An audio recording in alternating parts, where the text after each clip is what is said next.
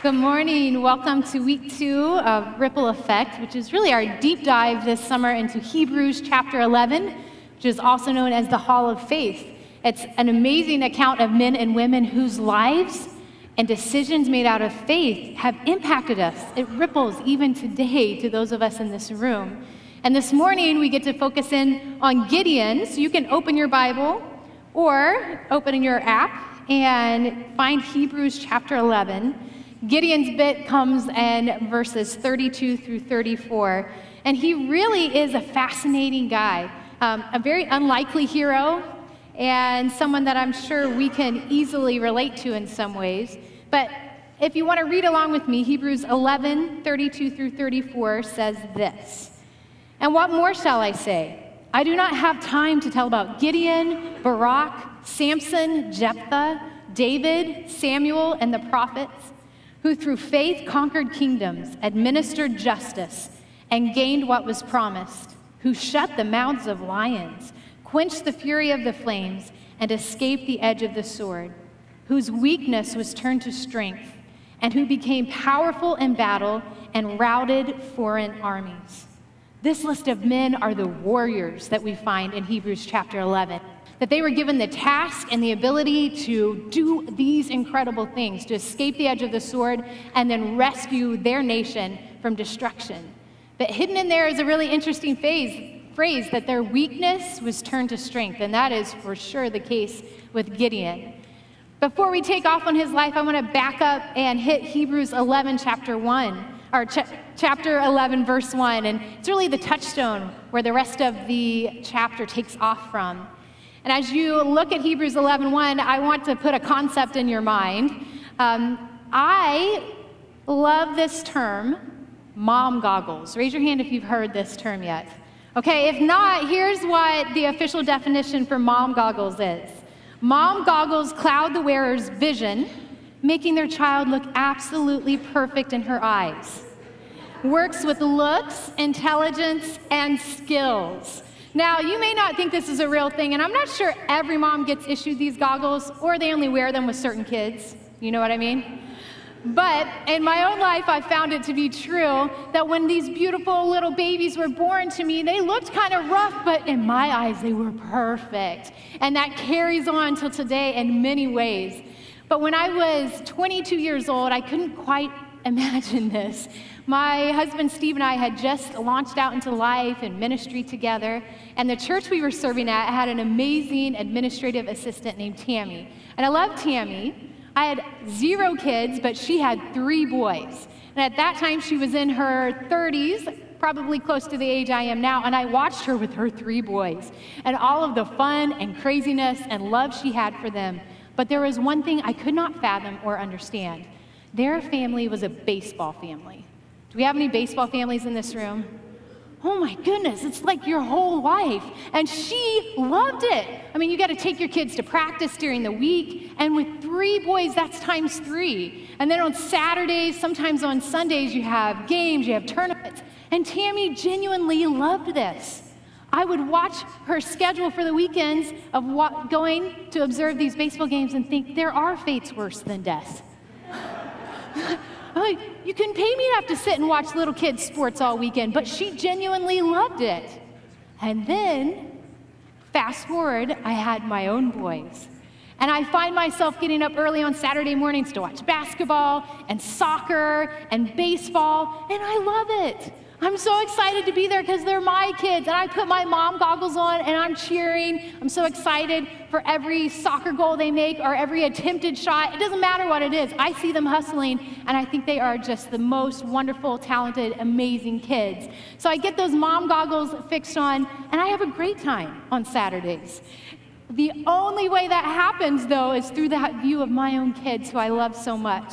And really, that's true for us in general in life that we're all viewing the things around us through lenses, different kinds and different views of the same incident can happen with different people. That we view life through a lens. And the writer of Hebrews is touching on that idea in chapter 11, verse 1. This is a very famous verse, and it says, Now faith is being sure of what we hope for and certain of what we do not see. faith, man, it's what allows us to believe. It's what allows us to keep going when we just have hope and be absolutely certain that things that we can't see exist. But verses like this sometimes get turned into the idea of, man, it's just a leap of faith. It's blind faith. Close your eyes and go for it. And for some people, that seems easy. They jump in, both feet with Jesus, and keep running after him, just so excited to be part of his family. But for others, it's a struggle. I have a friend who I love dearly and have known most of my life. He grew up hearing the same things I heard at church with parents who were teaching him the Bible, read Hebrews chapter 11, I'm sure, but as an adult, confusion on this concept of faith kind of set in. And he wondered, what do I really believe? I've heard this my whole life, but do I believe it? I kind of want to believe it, but how do we know this is true?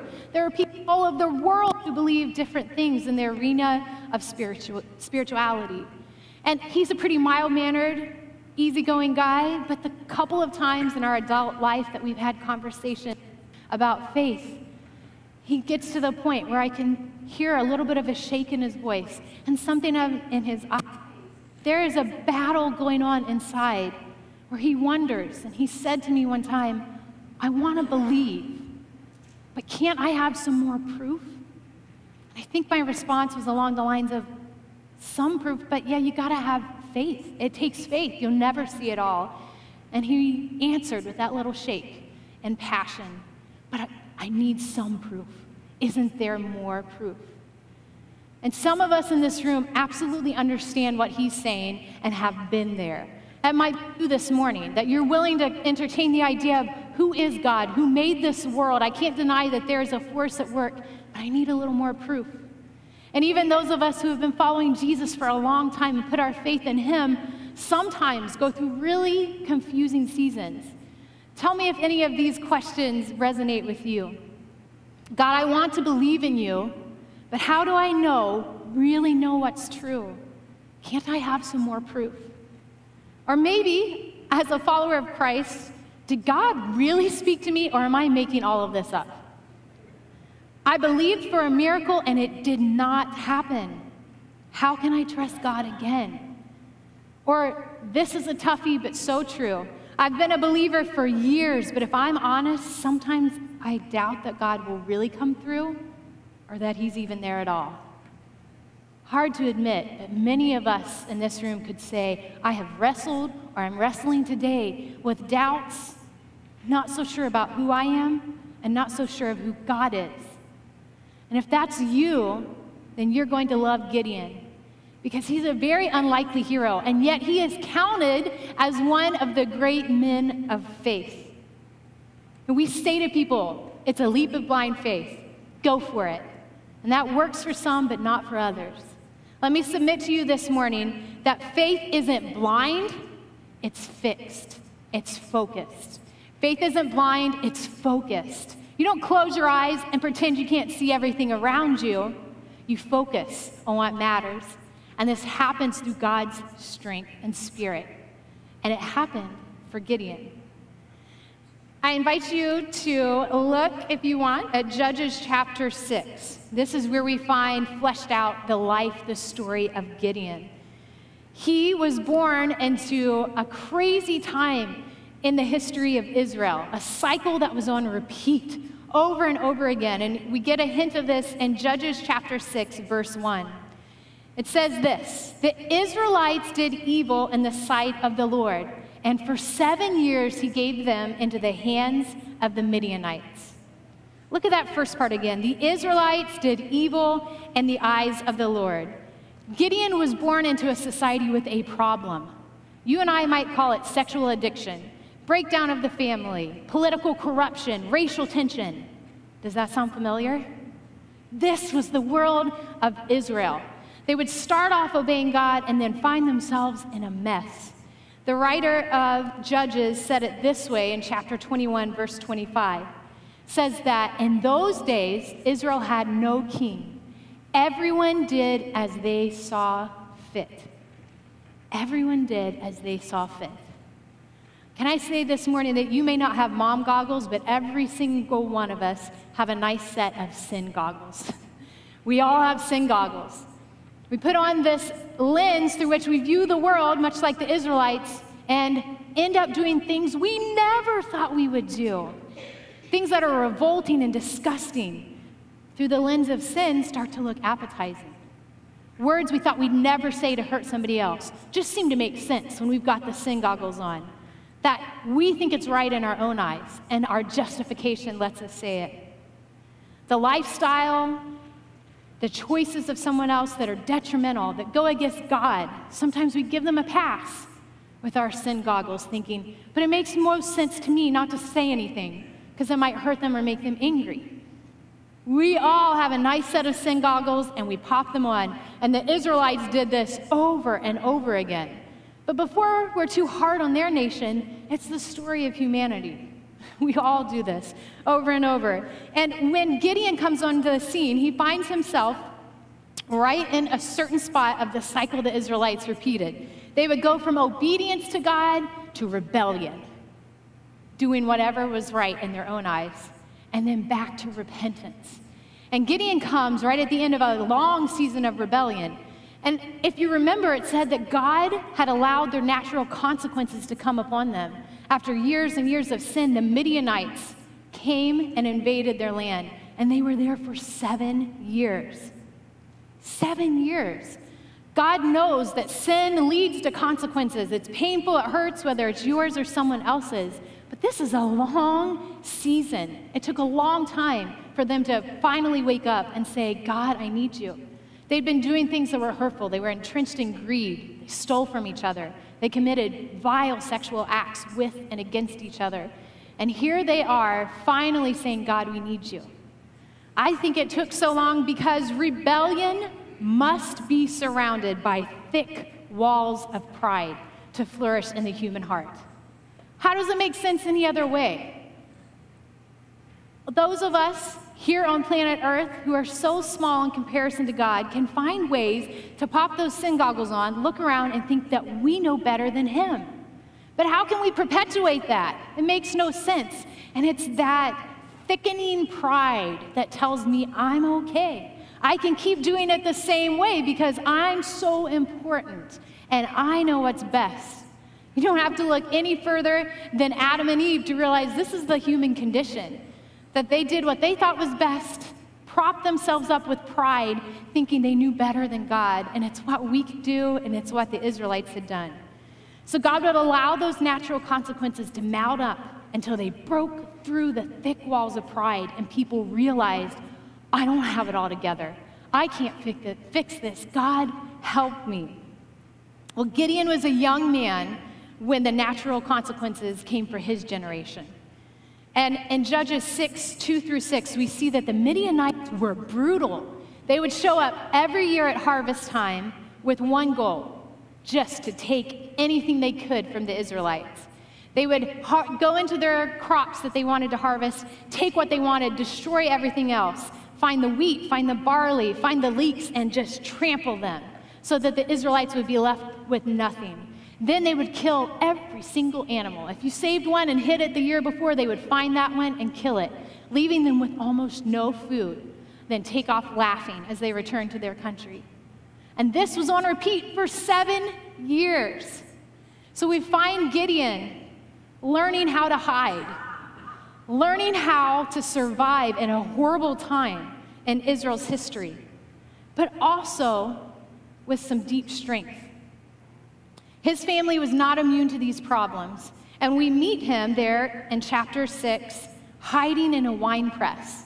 Now, this was a dip in the ground where you could trample grapes and then the wine would, the juice would run out and be able to be turned into wine. It was not the ideal conditions for what he was doing, but it was the only safe place. He had learned that if his family was going to eat, they needed the wheat stalks and they had to get the grain out of it and the old way of doing this was a huge party. It was harvest time. They would go to the threshing floor and they would lay out their grains, their stalks of grain. They would have cattle pull a farming tool around and shake loose the wheat and the chaff, and it would all blow up in the wind, blowing the bad stuff away and keeping what was edible. But that's not what Gideon's doing. He's hiding, crouched down in a dip. He has a tool that they had learned and fastened together, two boards with some rocks attached to it. He's quietly knocking each individual stalk of grain because he knows his family's life depends on this. If they're going to have anything to eat, he cannot be caught. So he listens with one ear while he quietly knocks loose every little bit of grain he can find and gather, just so his mom and his dad, his brothers, his sisters can stay alive for another day. And it's there, in this place, that his life changes forever. That the ripples from that moment affect us even today. But he's been hiding and cowering and avoiding these Midianites for seven years. By this point, who he is has been affected. And after seven years of torment, he and everyone else is ready for repentance. But can I tell you that suffering the consequences of your own sin or somebody else's for a long season is so difficult? It's painful. But sometimes it's exactly what breaks through the rebellious hearts that we have and the pride that surrounds it so we can finally be humble before God. Humility and hard work make for great views of the glory of God. Gideon is finally humbled. He's a big, strong guy, bent down, hiding, doing this hard work. He's humble, he's working hard, and God shows up. For us, that can look like working our nine to five job. Doesn't seem like it's spectacular, but we're humble enough to do the job that pays the bills, and we do it day after day. For those of you with young kids, it's washing dishes, washing clothes, and changing diapers over and over and over again. Nothing humbles you quite like that. But there, in those hard and humble moments, God shows up and does things in us that are incredible, teaching us lessons we wouldn't know otherwise. For many of us, it's sitting in classes and studying for exams and showing up again, and there in that place, God may speak to you or send you somebody you never expected, much like Gideon. You know, I said faith isn't blind, it's focused. And that's so true. Gideon could see everything going on around him. He wasn't ignoring the, the issue of the Midianites or the past sin that they had been living in, but he's just working hard. He's focused on the one thing that he knows to that point he should do, and that's to quietly take care of his family. But what's funny about Gideon is that the more we get to know him, he does not become a really obvious choice for the man that would be a mighty warrior and go on to lead the Israelites to victory over Midian. Like so many characters and Hebrews Hall of Faith, he's an underdog, total underdog, which makes him pretty lovable. And it reminds me that if we have sin goggles, God must have grace vision. The way he sees us is amazing.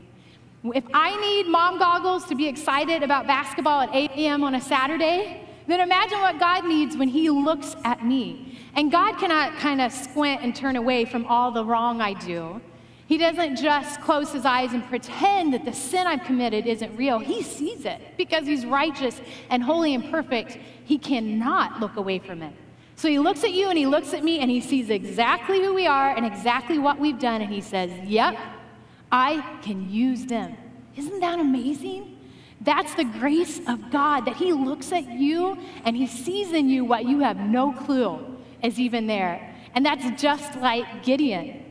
Gideon's such an underdog, but the good news is God operates exclusively through underdogs. Think about it, it's his only option. He created humanity, and we've got, we are what he's got to work with. I mean, we humans are the ones that bomb each other for oil, try to not make eye contact with our neighbors sometimes, and waste our time on the internet, right?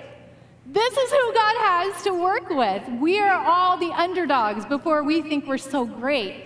And yet, God looks at us and He loves to use us, just like He loved using Gideon. And I think we kind of like this, if we're honest.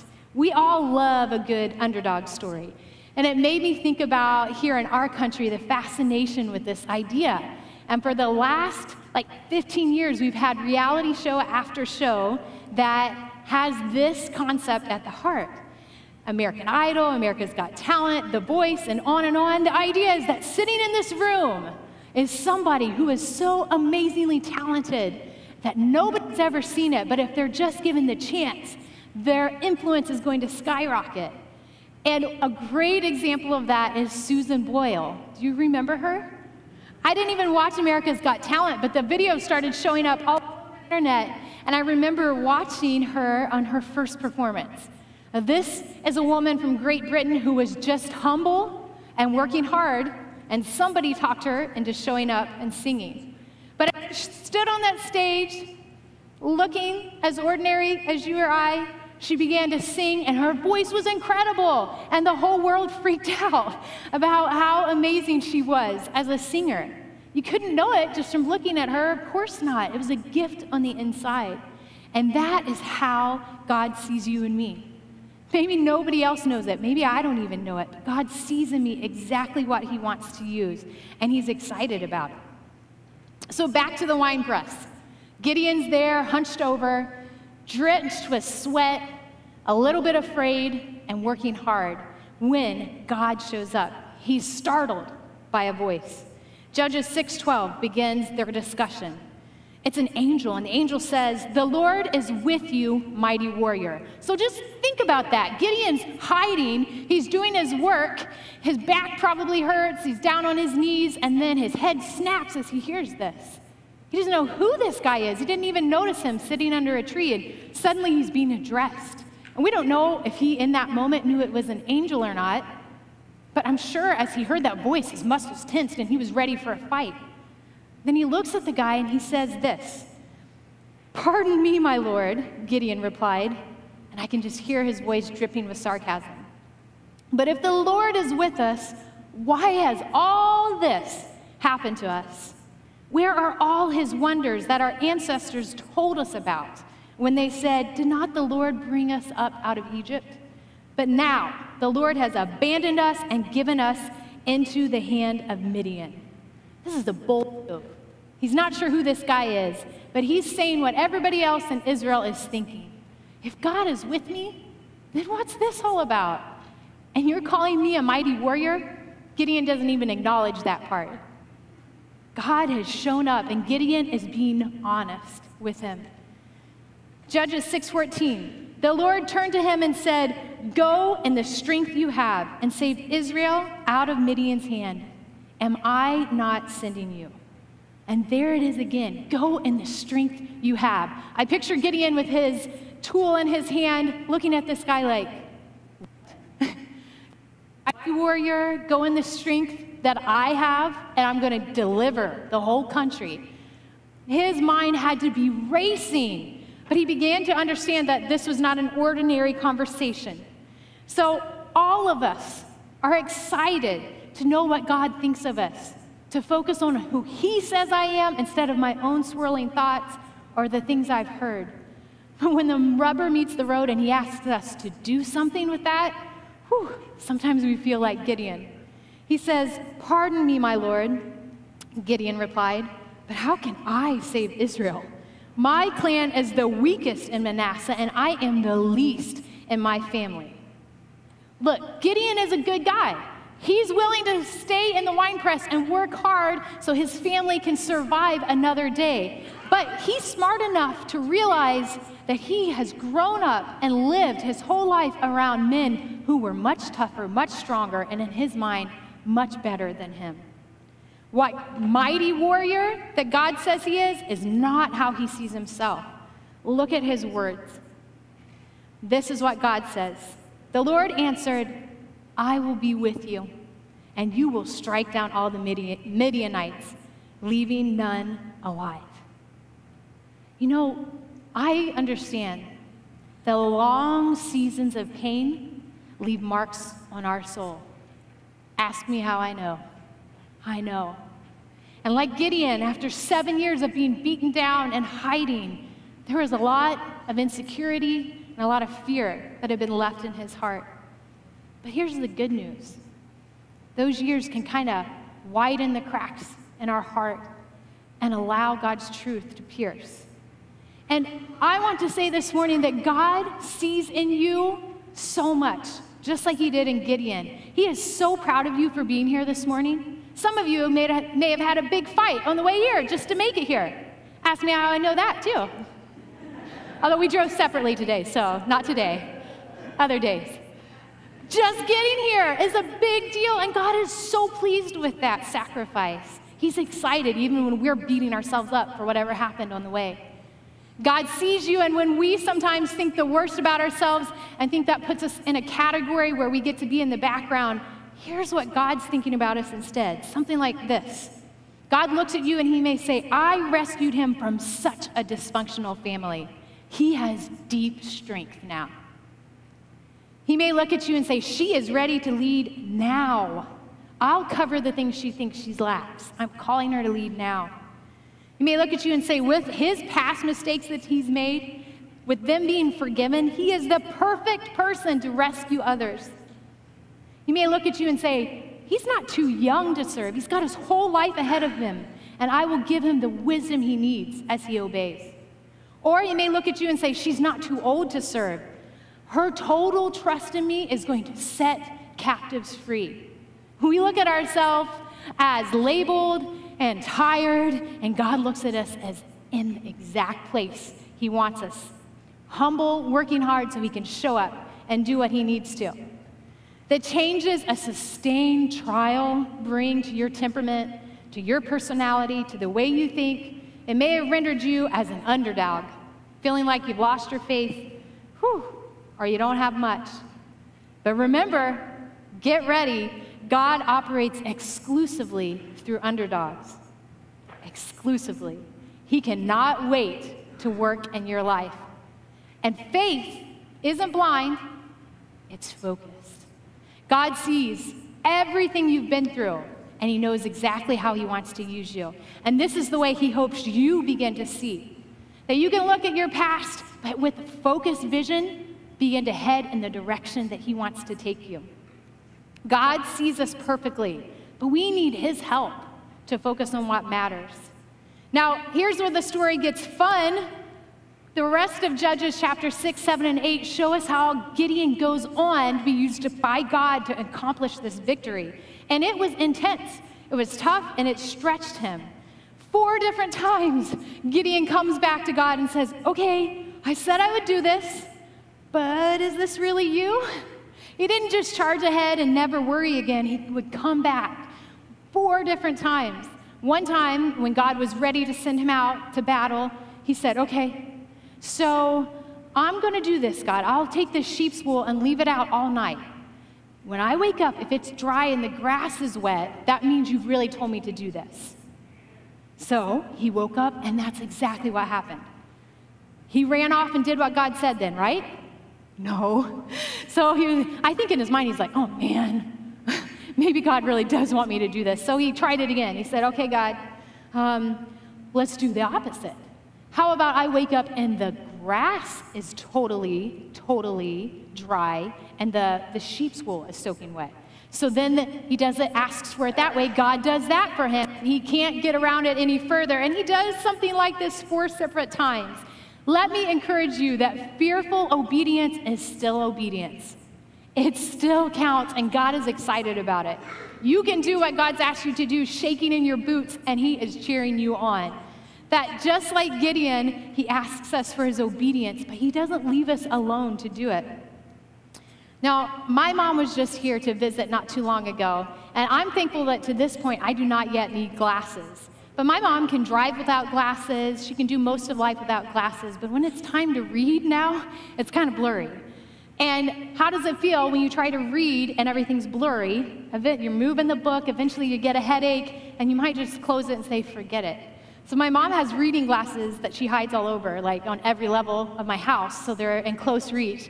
And I find them even after she leaves sometimes, those little readers that she can pop on and actually see what she needs to in a book. And this is the idea that we're talking about with faith this morning.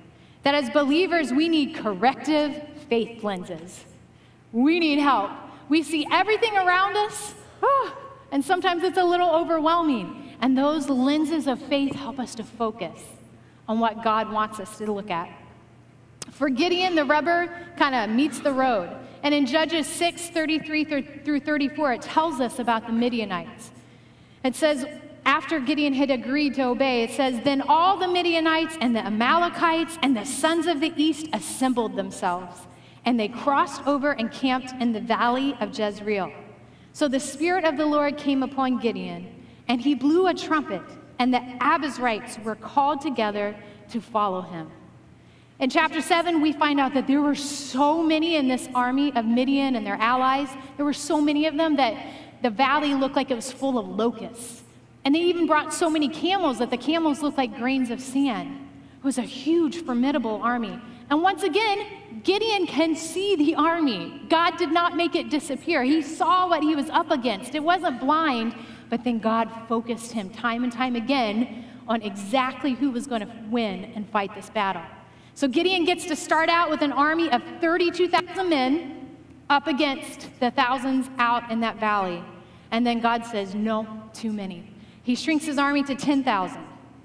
Gideon's probably feeling a little nervous, but he's willing to keep going. And then God shrinks it down to 300.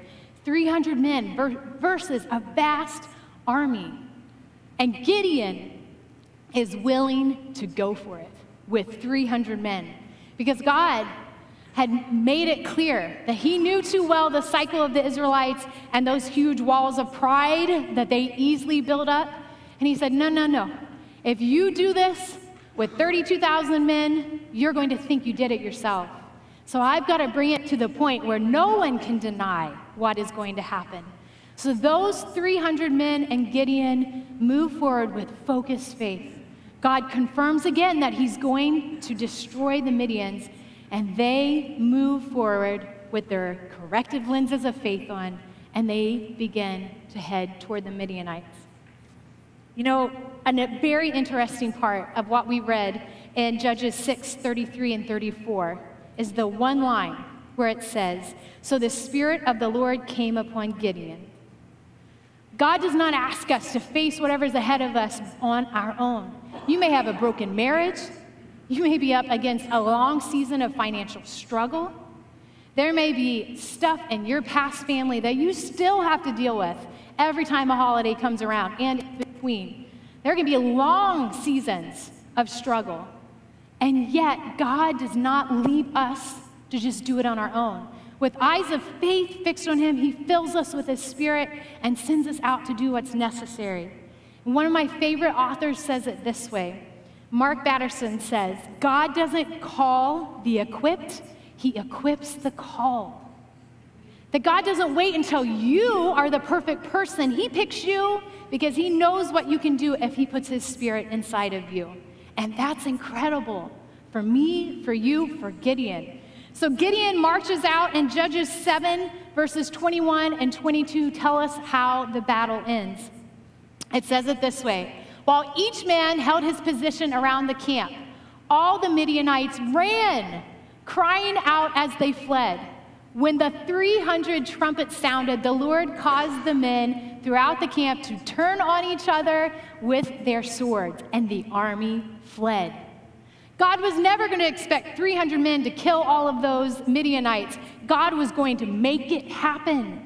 And he did something through his spirit that the ripple effects were felt for years in Israel. That the 300 men who watched that valley, who watched those men run in chaos and turn on each other, knew that it was God at work. And they could tell their children and their grandchildren on till today. That the ripple effects of Gideon and his men's faith were powerful. And that's true in our lives too. But let me tell you, we have something that Gideon did not. Truthfully, after the dust settled and the Midianites were gone, Israel did get to experience years of peace and better obedience toward God. But Gideon's a complicated guy. And if you have time later to read chapter 8, chapter 9, you'll see that he has some real character flaws. And although he had had a moment of the Spirit of the Lord coming on him, and he had had a time of laser focused faith, he eventually reverted back to those old sin goggles.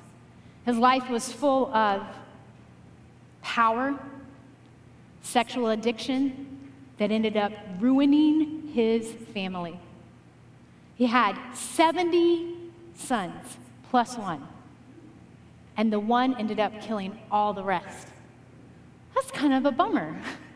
I would love for Gideon to just be like the best grandpa of all time. And all of his children followed God after that.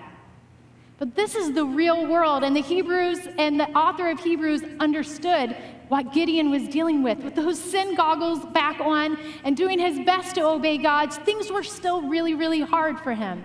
And we have such a gift that he would have loved to have had. If you look back to Hebrews chapter 11, verses 39 and 40, it says this These, all the people that are listed in that chapter, these were all commended for their faith, yet none of them received what had been promised. Since God has planned something better for us, so that only together with us would they be made perfect. Abraham and Noah, Gideon, every man, every woman listed in that hall of faith, they did great things. Their acts of faith changed their nation, changed the world. Their stories inspire us, but they needed what we have. And together, now we look back and see the picture of what God was leading toward. The Hebrews author goes on in chapter 12 to say it this way This is the glorious good news of what we've got. It says that, therefore, since we are surrounded by such a great cloud of witnesses, let us throw off everything that hinders and the sin that so easily entangles, and let us run with perseverance the race marked out for us, fixing our eyes on Jesus, the pioneer and perfecter of faith. For the joy set before him, he endured the cross, scorning its shame, and sat down at the right hand of the throne of God. Consider him who endured such opposition from sinners so that you will not grow weary and lose heart. The Bible says that we're surrounded by a great cloud of witnesses, Gideon being one of them. And somehow their stories of faith and their relation with, relationship with God and their existence with Him for eternity, in some way we are surrounded by this and they are cheering us on. And if we could hear the voice of Gideon this morning, I think this is what he would be saying to us. He would say, Oh my goodness, you've got it so good. Your family doesn't have to end up the way mine did. The power and the strength and the Spirit of God came on me one time, but you have Jesus. If you can fix your eyes on Jesus, it's going to make all the difference. I didn't know what to do when I got back home. You can pray, you can talk to Jesus. I didn't know how to make the right choices when I was from a family that worshiped idols I slipped back into it, but you don't have to. He would be cheering you on this morning saying, Good for you for showing up today, and good for you seeking God with all your heart. I think he would say to us, Think about the cross. I didn't know a thing about it. You do. Think about the cross. I felt so ashamed of my mistakes and my weakness, but you don't have to feel ashamed because you know Jesus has paid the price. Gideon is cheering us on this morning. And he's encouraging us, like the author of Hebrews, to fix our eyes on Jesus. You know, I've said it quite a few times that faith is not blind, it's focused. And the author of Hebrews says right here, it should be focused on Jesus. Fix your eyes on Jesus. And here's how I've learned to do this and continue to learn in my life. When I get worried, confused, distracted, led astray in sin, I realize that I, I've lost my focus on Jesus. And some of the ways I've found to bring that back around is one, to think about the cross. When it's done in a good way, a lot of Christians will just have a cross in their home, wear a cross on a necklace, and the sight of it will remind them about what Jesus did. And there have been times in the middle of the week that I've walked through this room and no one's here, and that cross will catch my eye, and I just have to sit down and think about who Jesus is and talk to him for a minute. There have been other times that I've been so busy in life and, and teaching about God and, and teaching kids about Jesus, and I've kind of forgotten exactly who he is. So I go back and read the Gospels again and remember what did Jesus really say? And what was he like? And how did he act? And fall in love with Jesus all over again. I think an amazing way to fix our eyes on Him is to sing a new worship song like we did this morning, to sing a little louder in the presence of my enemies and make it, let it make you think because it's new. about what those words really mean, or to sing an old song of worship and remember what you were going through at that time and where God has brought you. The last thing I'll leave you with is just like Gideon. When you don't know what else to do and you feel like you've got the sin goggles on or you've lost your focus, you've forgotten how God sees you, and you want to get those faith glasses back on, corrective lenses, is just to do what Gideon did. When you don't know what else to do, be humble and work hard, and then wait for God to show up. It's going to blow you away when He does. So this morning, I'd like to end with prayer and just ask God to work in our hearts, to speak into our lives individually, because He knows exactly what you've carried in here this morning. He knows the things that you are rejoicing about and the ways He's boosted your faith so that you can go out, spread the good news of Jesus, tell the truth, do the right thing. He also knows the heavy burdens you may be carrying as the result of your sin or somebody else's. For some of us, we may think this morning, oh man, yeah, I know I have sin goggles. You don't know what I did last night, and I didn't know if it was even okay for me to be here. But God sees you. And this idea of fixing your eyes on Jesus is what He wants for you too. Because as you do, you realize that He paid the price for that action, that He wants to give you a new life in Him, and He has great forgiveness. So let's pray together. Lord Jesus, I thank you so much for your word. I thank you that even in the Old Testament, we see the glimpses of what was going to be the present reality today. Father, I thank you that your spirit dwells in the heart of every believer in this room. And God, may we become more aware of that, that we've got everything we need to obey you. Lord, I just pray over the broken places and hearts, the wounds and the long seasons that some people have found themselves in of pain. And God, we put our faith and trust in you renewed again, thanking you that you're really enough. Your forgiveness at the cross is really enough. If you never did another thing, it's enough. But Lord, we thank you that you choose to use us as well. And God, as just one big bunch of underdogs this morning, we thank you for looking at us and seeing what we can't see on our own. Jesus, I thank you for every man, woman, every student, every child here this morning. I pray that our eyes would be ready, focused on you as you prepare to show up in our life and send us out on your mission. In Jesus' name, amen.